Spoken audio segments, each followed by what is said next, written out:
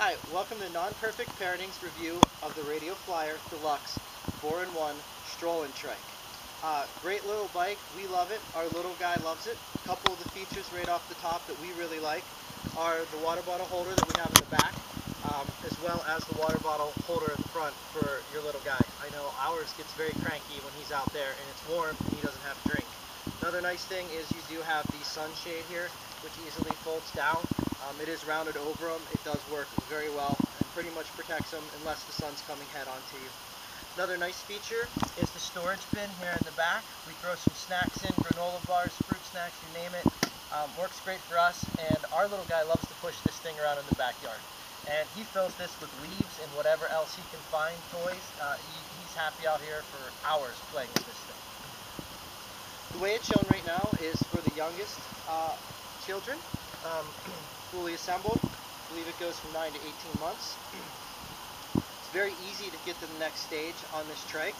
All you simply do is collapse your hood, simply remove it, undo the two knobs that you have here in the back, and it will pop out as such, at which point This pops out. You might have to give it a little jiggle, but I guess you have to do that with most things in life. So, then your hood easily snaps back in. Okay, so now you have this, you don't have your safety harness in there, and do remember at any point in time, you do want to keep your, your child buckled in here. So, even without that, with that, buckle it, without it, keep them buckled in. So this is the next stage. They still have the sun protection.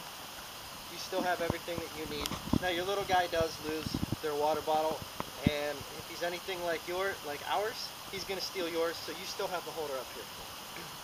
The next stage is to remove your sun hood, turn this knob in the back, which then will remove the seat belt and the extra back pad and you have a little clip down here in the back. It's not the most easy thing to get to. It just simply unclips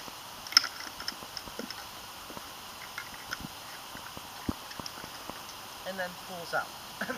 so this is your third stage.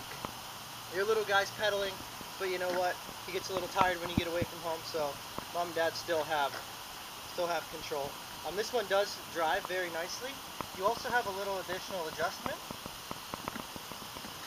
and that is in the height of your handles. We put it all the way down for our little guy to push.